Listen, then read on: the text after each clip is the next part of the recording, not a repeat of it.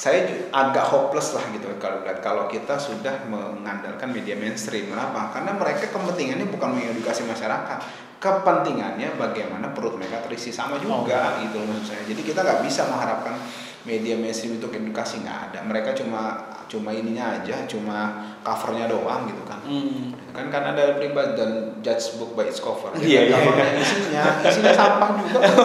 maksud saya gitu yeah, sekarang iya, nggak yeah. mengedukasi isinya hanya berputar-putar di hal yang perdebatan nggak penting yang substansinya nggak diambil gitu maksud saya ah. kayak misalnya masalah yang inilah brigadir J dan Mirjen ini kan sebenarnya problemnya tiga tadi saya katakan aja yeah, yeah, yeah. kalau kita bisa analisa itu kan sebenarnya cuma tiga ada pelaku yang utamanya ada kasus utama maaf ada kasus utamanya kemudian ada dagelannya kemudian ada pembiaran terhadap dagelan itu. Nah, itu tiga poin itu diberesin.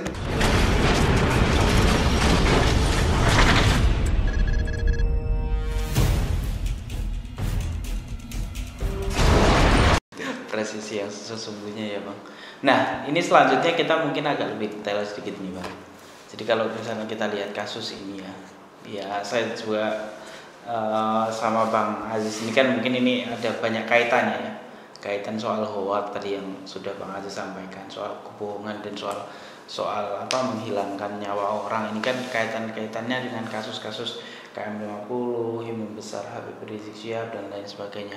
Nah, dalam kasus FS ini kan kemarin sempat disampaikan kalau Barada E itu disuruh untuk menembak Brigadir J oleh atasannya. Nah, diduga kuat atasannya adalah FS. Artinya yang menyuruh itu dan menskenarikon itu semua, nah diduga kuat itu adalah FS. Okay. Nah, pertanyaan saya ini, hmm. hukuman hmm. ini kan Bang Aziz nih selaku advokat advokat kita nih, hmm. hukuman orang yang sudah menskenariokan hmm. sudah menghilangkan nyawa orang, menyuruh orang untuk menghilangkan nyawa orang apa itu bang? Hukuman secara pidana dulu dah sebelum ke akhirat. ya jelaskan itu diatur di pasal 340 KUHP. Oke. Okay. Gitu, tentang berencana. Ancaman hukumannya ya sebagaimana dikemukakan oleh jubir pihak polri kemarin. Oke. Okay. bisa mati seumur hidup minimal 20 tahun, 15 atau 20 tahun gitu kan. Seperti itu. Jadi uh, itu ancaman hukumannya gitu. Tapi menurut saya uh, ada beberapa poin yang harus di di apa dibuka di sini dan juga menjadi momentum untuk uh, suatu perubahan. Apa itu? Artinya terkait pembunuhan berencana ini silahkan dibuktikan kan begitu kan? Oke. Okay. Silahkan dibuktikan, tapi ya itu semuanya harus transparan. Hmm. Nah, jadi saya lebih men, apa lebih tertarik untuk mengungkap bagaimana keterbukaan dalam pengungkapan suatu kasus itu tanpa pandang bulu ini yang harus lebih utama okay. jangan ada kepentingan okay. jangan ada motif jangan ada takut apa takut apa menurut saya hmm. itu yang hmm. pertama gitu kan karena kalau itu sudah jadi gitu kan aturannya udah ada kok tinggal dilihat iya, aja betul, betul. yang susah ini bukan nyari pasalnya iya, iya. keberanian untuk mengungkap itu aja itu, gitu ya. kan. itu yang pertama jadi harus ada keberanian dan uh, apa ya kacamata kuda aja untuk untuk kita mau mengungkapnya. Mengungkapnya ya hmm. gitu kan. Nah kemudian setelah transparan dan terbuka yang kedua adalah menghenti uh, yang kedua mengidentifikasi dulu. Kenapa? Kecuali dari awal sudah ngaku oh saya merencanakan membunuh ini ini ini ini karena dia begini begini begini. Selesai kita nggak usah bicara panjang lebar nggak bakal ada drama ini sampai sejauh ini dramanya. ini gitu kan. Ah. nggak bakal ada bongkar CCTV orang saya udah ngaku apa adanya ini CCTV untuk memperkuat keterangan saya. Kan begitu kan? Saya ngaku misalnya gitu misalnya yang bersalah gitu kan. Si Irjen Efes misalnya. Saya menyuruh ini ini karena dia begini saya ini dulu dan saya kesel misalnya ini gitu kan. Saya siksa dulu apa segala macam misalnya gitu kan. Nggak perlu drama itu nggak perlu. Ini kan kalau itu yang terjadi sebenarnya selesai itu dalam satu hari dua hari selesai tinggal di BAP udah ada tertangkap tangan kan hmm. begitu kan sudah ada korbannya juga. Aturannya udah langsung ya. penyidikan kemudian penetapan tersangka. Sudah diikuti dengan step-step lanjutan gitu kan. Ini kan problemnya ada drama-drama yang menurut saya jangan ini terulang lagi gitu loh. Gitu jangan karena gini kan tadi bilang tadi ini puncak gunung es. Jangan ini sama masyarakat diimplementasikan gitu loh maksud saya. Iya nah iya Caranya gimana supaya di, supaya ini tidak diimplementasikan masyarakat? Mindsetnya mereka ini harus dirubah gitu loh. Caranya gurunya apa? Diungkap dulu. Nih, Hmm, hmm, kenapa anda, apa sebenarnya yang terjadi apa? Transparan dulu. Kalau ini sebagai momentum transparan, oh ini bagus banget. Oke. Itu momentum perubahan radikal, ah, revolusi gitu kan, gitu. Artinya perubahan yang yang yang sekonyong-konyong. Iya, kan iya. karena lebih baik, nggak apa-apa Iya. kan? Nah, kemudian setelah transparansi dan keterbukaan dalam pengungkapan ya, yang kedua adalah eh, maksud saya yang pertama transparansi keterbukaan kasus itu sendiri. Apa sih yang terjadi gitu kan? Nah, kemudian yang kedua, rekayasa apa yang ada pakai di sini gitu loh. Hmm. Saya mengaku kemarin kan dia dong bilang tuh, Iya. saya kemarin nyuruh dia maksa. Kalau nggak salah begitu ya, pernah dia ceritakan gitu kan. Nah, artinya dia sudah merekayasa itu, diungkap dulu rekayasanya itu gitu loh. Bilang katanya pelecehan seksual ada di rumah. Hmm. Habis itu yang satu bilangnya pelecehan seksual terjadi di Magelang. Magelang. Nah, maksud saya ini harus dibuka dulu mod- modus operandinya harus dibuka. Jadi yang pertama kasus itu sendiri, yang kedua modus operandi untuk merekayasa ini harus dibuka dulu. Hmm. Oh, jadi kayak gini nih Anda motivasinya. Supaya jadi pembelajaran yang lainnya. Malu lo kalau ketahuan nih. Akhirnya gue ungkap kan, polisi kita bagus. Ungkap rekayasa yang dilakukan oleh oknum. Kan hebat tuh kan. Nah, itu yang kedua. Yang ketiga, menindak tegas semua yang terlibat. Semua ya, Pak- harus semuanya kalau ya, pelakunya pembunuhan ya iyalah itu juga tahu kita. Tapi semua lingkungan ini Hmm. karena bukan bukan tidak mungkin mereka ini melakukan hal yang sama kepada yang lain waktu itu. Oh. Gitu. Betul. Jadi setelah yang pertama transparansi, keterbukaan kasus itu sendiri, yang kedua transparansi rekayasa itu sendiri. Kayak Iya, apa sih? iya, iya. Macam mana man ini ada ngerekayasa gitu kan. Yang ketiga ditindak semuanya. Hmm. Tiga poin itu menurut saya ini momentum untuk tiga poin tadi yang harus Iya. di di apa diimplementasikan. Nah, dari situ saya yakin institusi paling terpercaya di republik ini Ada. adalah pihak kepolisian saya akan kasih poin seribu langsung kalau itu diungkap. Saya kampanye kalau perlu. Iya, iya, saya iya. bilang Anda harus jadi polisi supaya bisa kayak gini. Iya, Ah, iya. Dan itu juga nanti akan membuat orang-orang yang mau menyimpang melakukan hal-hal yang sama juga akan berpikir dua kali, Iya, seratus pastinya, kali ya bang. Pastinya. Ini momen 17 Agustus kalau itu diungkap. Besok saya kan kan Oh, karnaval karnaval pakai baju polisi. saya. Karena saya bangga gitu loh. Mereka bisa institusi ini mengungkap ini luar biasa. Gitu. Kalau belum bang, kalau belum Kalau gimana? belum saya, pakai baju satpam Advokat. aja. satpam aja. satpam BC. yang yang ramah-ramah ya bang. Luar biasa ya. Dan kita juga mendukung tadi apa yang disampaikan Bang Aziz menurut saya juga sangat make sense sekali karena ya kita tidak menutup kemungkinan lah. Banyak juga ya di sisi yang lain juga tadi sudah disebutkan. Ada juga oknum-oknum yang begitu. Nah ini momen untuk menindak tegas oknum-oknum yang demikian supaya ke depannya institusi kepolisian juga semakin bersih dari orang-orang yang suka merekayasa kasus, suka kemudian tadi melakukan hal-hal yang sebenarnya tidak tidak boleh dilakukan. Itu mereka merekayasa kasus kemudian tadi membunuh eh, apa kekerasan. ya kekerasan menyebarkan eh, kebohongan tadi ya dalam tanda itu bagian tanda nomor tiga tadi yang saya jelaskan. Itu bagian dari apa nam eh sorry nomor dua bagian dari skenario tadi. Ya, skenario. Jadi setelah transparansi keterbukaan kasus sendiri, Ya. yang kedua transparansi keterbukaan terkait skenario nya. Anda skenario apa sih nih gitu loh? Betul, betul, nah, betul. terma- kan tadi terungkap, saya nyuruh dia untuk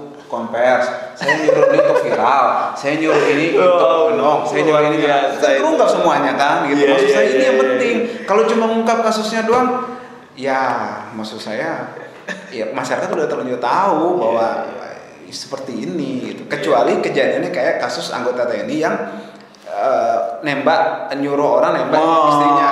Kalau itu yang terjadi, nggak perlu nomor dua, nomor tiga. Orang Udah satu udah dibakar itu. gitu. Iya, itu itu itu benar.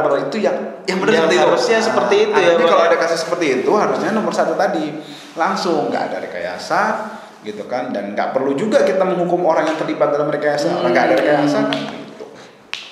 dan itu benar-benar transparan dan selesai juga kan kasusnya akhirnya maksudnya ah, dihukum dan udah nggak jadi polemik lagi di nggak masyarakat iya.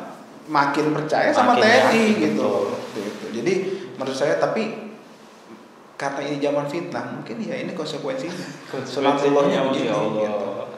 Dan ini bang yang men- eh, mungkin tadi abang juga kan sempat sampaikan harusnya ditangkap juga orang-orang tadi yang menskenariokan ini. Hmm. Artinya kalau memang benar-benar nanti itu akan ditelusuri mereka-mereka ini. Nah ini kalau misalnya mene- menebarkan kebohongan nih misalnya ya.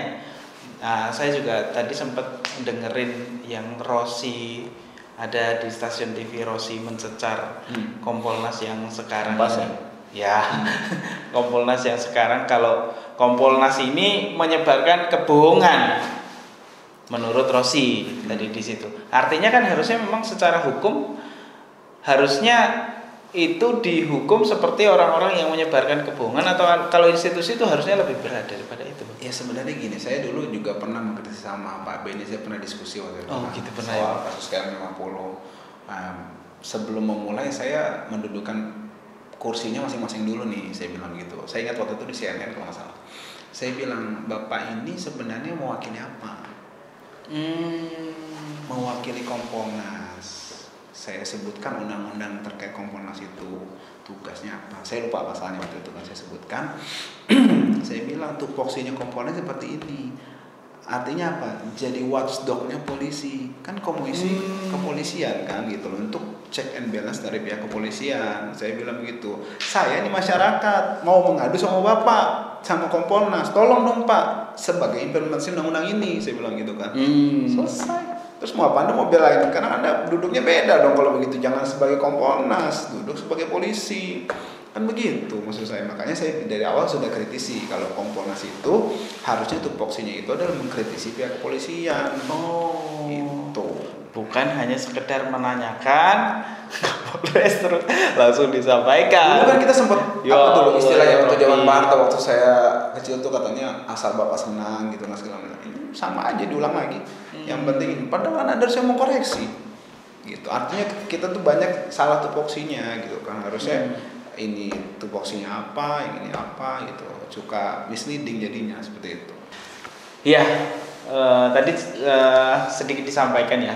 Seharusnya Kompolnas itu adalah bertugas untuk menjadi mengkritisi lah bahasanya ya kepolisian atau memberikan masukan kepada kepolisian bukan seperti yang disampaikan oleh eh, Bang Aziz.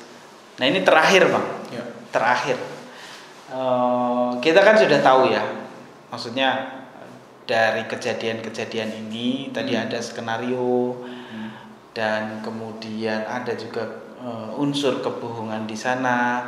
Apakah kemudian ini memang lembaga-lembaga seperti ini ini memang di negeri ini nih bukan hanya ini artinya maksud saya gini maksud Gimana saya ini tidak gini ada mau, mau menyampaikan tapi takut salah kan disampaikan pengen menyampaikan bang. Gini jadi kalau misalnya di satu negeri namanya Wakanda ini kan presidennya tuh suka bohong bang. Hmm. dia ngomong A ternyata nggak dilakukan. Ngomong B nggak dilakukan.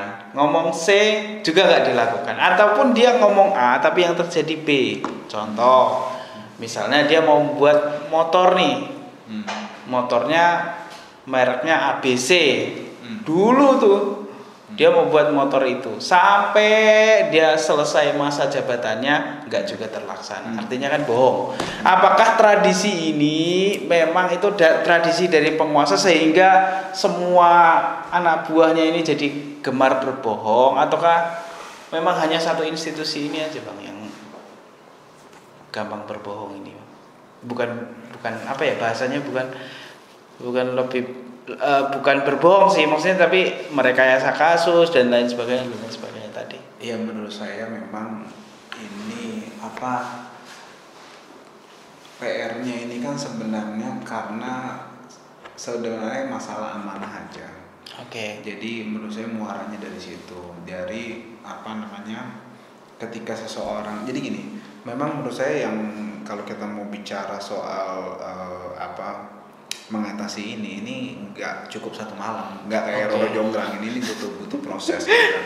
kenapa butuh proses karena ini terkait mental juga gitu kan ini terkait mental dan juga memang orang-orang juga punya kepentingan bukan orang-orang yang dalam ini pihak-pihak tertentu yang memang punya kein, punya kepentingan untuk supaya ini terjadi gitu loh Oke. supaya memang eh, suatu negeri itu tidak dipimpin oleh pemimpin yang punya integritas pemimpin Jujur. yang punya keberanian Mhm. pemimpin yang memang amanah gitu loh artinya kita nggak bisa juga kalau menurut saya menyalahkan pemimpin Ansih sendiri gitu nggak bisa Oke, gitu. oke. kenapa karena memang ini create by design juga dan masyarakat suka tidak suka terlibat di situ Hmm. karena kan ini ada pemilu ya kemudian memilih wakil rakyat akhirnya wakil rakyatnya jadi pengkhianat juga beberapa kok pengkhianat ya iyalah mereka bikin elektoral apa eh, pemi, apa eh, threshold itu yang Iya, iya, iya. electoral threshold itu 20%, 20%. 20%. kan berarti kan suara nggak di tangan rakyat kedaulatan lagi Betul. berarti kedaulatan di tangan Partai. partai kan Betul. begitu kan nah maksud saya orang-orang yang saya sedikit tambah tadi orang-orang yang teriak-teriak pancasila ini demokrasi ini ke mana gitu loh. Itu jelas-jelas mengangkangi itu kan. Nah itu menurut saya bagian dari eh, apa ya eh, dosa tanda petik dosa bersama lah gitu kan. Dan dan untuk hal tersebut butuh waktu memang. Hmm. dan seiring waktu itu butuh juga pendidikan. Nggak bisa kita langsung teriak berubah gitu kan. Atau kita minta tolong ini nggak bisa. Kenapa? Orang nggak akan memahami itu secara penuh gitu kan. Artinya kita mesti step by step. Ini bagian dari suatu pendidikan juga. Saya sedikit berfilosofi jadinya. Kenapa? Karena memang nggak gampang. Sekarang kalau misalnya kita mau menyalahkan juga ya apa namanya ternyata memang di masyarakat banyak yang memilih juga kan begitu kan Hmm. itu artinya memang kita ini alhamdulillah tanda petik ya gampang lupa orangnya gitu kan itu yang jadi problem gitu makanya ini bagian dari edukasi juga kan terutama munculnya media-media yang memang punya eh, apa namanya punya perlawanan atau Hmm. kritik terhadap sesuatu yang memang eh, di luar akal sehat gitu. Hmm. Jadi menurut saya ini yang perlu edukasi-edukasi ini. Karena kenapa?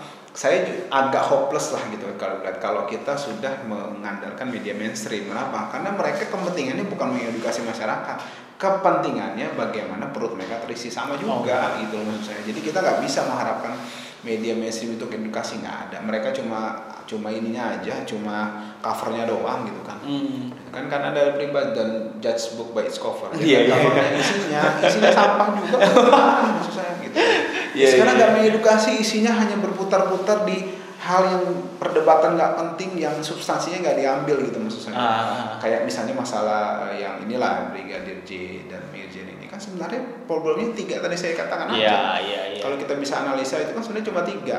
Ada pelaku yang utamanya, ada kasus utama, ada kasus utamanya, kemudian ada dagelannya, kemudian ada pembiaran terhadap dagelan itu. Nah. Itu tiga poin itu diberesin, selesai. Gitu. Maksud saya edukasi seperti itu yang harus muncul gitu di media-media perlawanan seperti ini gitu kan. Maksud saya bukan perlawanan terhadap, terhadap pemerintah ya. Iya, iya. Perlawanan terhadap Ketidakadilan. ketidakadilan dan kedunguan. Iya dong. Iya, Sekarang iya, masa Bang. yang lain pada menyebarkan hal yang nggak penting kita Iya, Bang, iya, Bang, gitu. iya. Makanya Siap, eh, apa yang tidak bisa muncul di media mainstream menurut saya harus disuarakan gitu. kan. Hmm. Seperti itu.